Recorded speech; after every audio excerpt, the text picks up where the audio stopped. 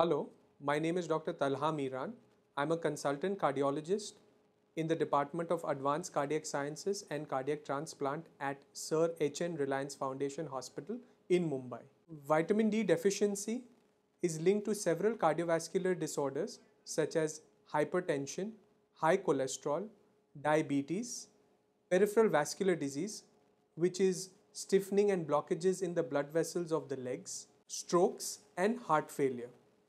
A large medical trial has in fact shown that individuals with normal vitamin D levels have about half the risk of developing heart attacks as compared to individuals with low vitamin D levels. However, there are conflicting reports on the efficacy of vitamin D supplementation in improving cardiovascular outcomes. Nevertheless, there are no major harms of vitamin D supplementation on your cardiovascular system. Hence, vitamin D supplementation may be a very low cost and easy way to improve your cardiovascular system.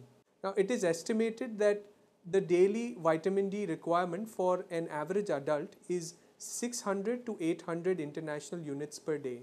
Intake of milk, other dairy products, and eggs, along with plenty of exposure to sunlight, can increase your natural production of vitamin D as well as absorption of vitamin D in your body.